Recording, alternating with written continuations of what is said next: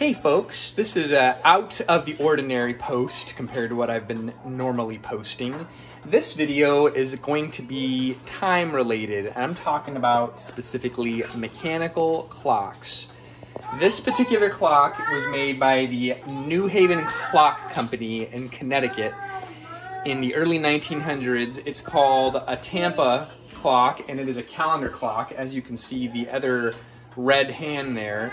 I got this one from a guy off of Facebook Marketplace for $100 in non-working condition up in Folsom, California. Still has the original glass and the original steam pressed wood for the top. The bottom has been replaced, but it's hard to tell unless you're really looking. So this one has its original paper dial as well. It is time only and I spent $220 to get this clock serviced by House of Clocks in Lodi, California. And a buddy of mine had come over and was admiring my mechanical clocks. I have two of them. And I had been on the lookout for a clock of similar price that I knew would probably need to get serviced. I don't know a whole lot about mechanical clocks, but I knew this one was old. You could tell by the dial and its paper and its the finish of the wood is really old and weathered. But overall, it has a collector value. It's worth maybe 500 on a good day. It's not a terribly valuable clock. But I mostly wanted a vintage timepiece. You could tell it has the original peg to hold the hands in place. And it's marked New Haven, Connecticut, USA on the inside of the dial uh, when you pull the face off. So old clocks are usually marked on the dial that being said, I found out the hard way today at the thrift shop that there are certain clocks that are complete junk that are not worth fixing. But before we get into that, I'm going to show you the other clock that I've had for years, since about 2014. Bear with me as we cut away and I'll show you that so this, this particular clock is what you call a grandmother clock. It is a Danneker, and that being said, the movement is made in Germany uh, specifically, I don't know what the actual movement is. I know the face says but I think the movement is another German brand. This I got for free from a friend in 2014 when their grandparents died and they were getting rid of it. I had been running it for eight years and it had never really been properly serviced. I just had a friend who kind of tinkered with clocks when I lived in Orange County, oil the movement, and it kept okay time. I have since had this clock it is a three strike clock, hour, half hour, and quarter hour. That movement was a little bit more to service. I think this one cost 375, but it's like a 10 year thing, so you don't do it all the time. I'm gonna pan around and show you the rest of it from the So this this particular one, it has fake weights. The weights are totally decoration. They're just stapled to a cross member up underneath there and it's got this base with little spindly legs, very mid-century.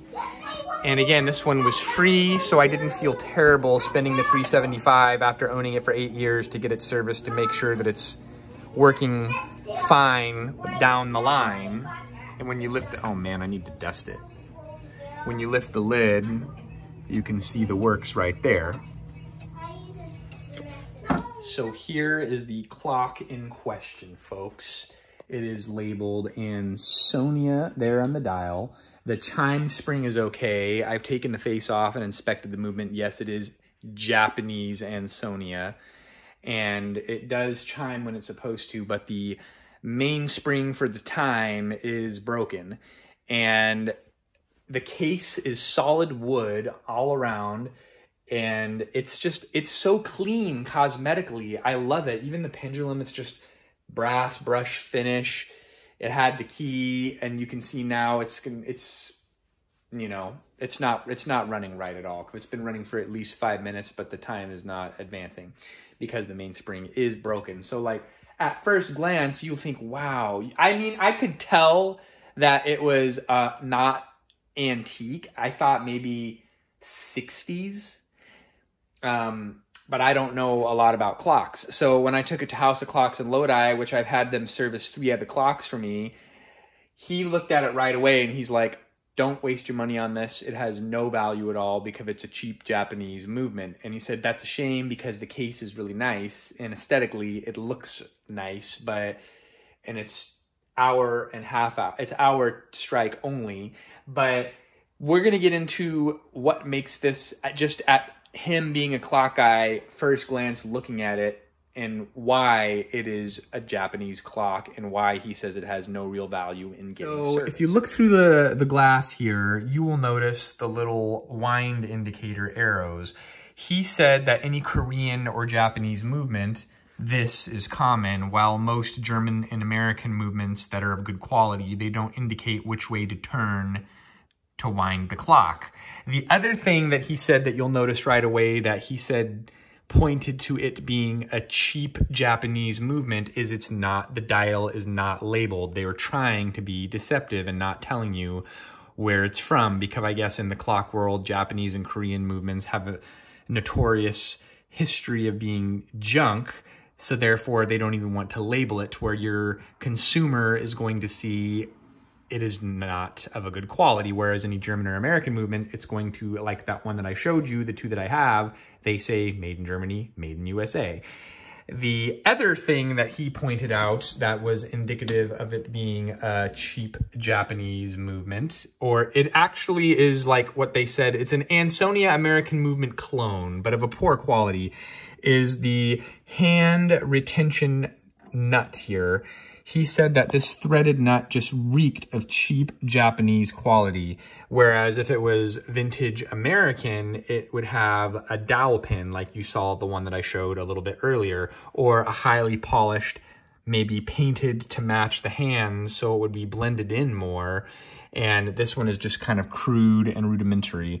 And sure enough, um, we knew it wasn't really old because of all the, the dial plate pins are Phillips screws which it's a shame because of it it chimes really nice as you will see when I strike it.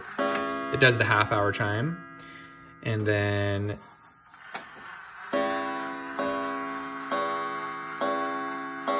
So it sounds nice. It's just he said it would be anywhere from three to four hundred dollars to get this properly serviced and replace the mainspring. And I had talked to another shop in Turlock to get their opinion, and he kind of gave me the similar information, except for he said it would be between four and five hundred dollars to get that service. other clock shop clock shop kind of went a little bit deeper than House of Clocks did because if he was just like it's junk, don't waste your money because I care about you as a customer. Don't invest money in fixing this. It's not worth it unless you really have a lot of sentimental attachment to this clock, which in this case I had just picked it up at a thrift shop, didn't really have a lot of attachment for it. And he was just like this is a candidate for putting in a quartz movement battery operated and then just give it to your friend so he never has to worry about it which to me would defeat the purpose of owning a mechanical clock. Part of the process is winding it every eight days, regulating it by adjusting the pendulum. That's part of the fun of it. And just switching it to quartz wouldn't have been, to me, I don't know. I would rather just go find another vintage American clock and pass that on to him as a gift. So, with that being said, the other clock shop in Turlock, they said that the Japanese, just at this point in their clock making history, didn't really have good production value. You see that in the early days of Toyota. The earlier Toyotas weren't as good of a quality as they kind of got later in their production. They refined their process and they became what they are today. Whereas this, he said they did not maintain their manufacturing after the war. They were kind of just pumping out cheap crap that didn't really have a lot of value. And then he said, furthermore, they sold their works to the Russians later on when they were getting out of the clock business. This Ansonia company then went to Russia where it's still stamped Japanese movement, but it's made in Russia. The quality went even further down. And he said that the polished pivots are just not very good.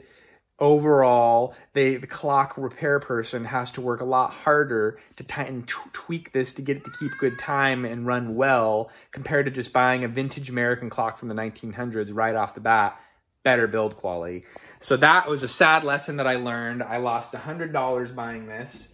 He said that basically the value is in the case. Mechanism, throw it away. So that's my sad tale. Buyer beware. I don't think the thrift shop was trying to be deceitful. they don't really know a lot about clocks. They put it behind the counter. It said non-running $99. So lesson learned. But maybe if you're watching this video, that was the advice from the clock shop. Look for stamp dials made in the USA, specifically where it's made sometimes, like my other clock says made in Connecticut or made in Germany. Those are the ones you want to keep an eye out for. If it's not marked or has little indicators for the wind, it's Korean or Japanese, steer clear. Until next time, we'll see you then.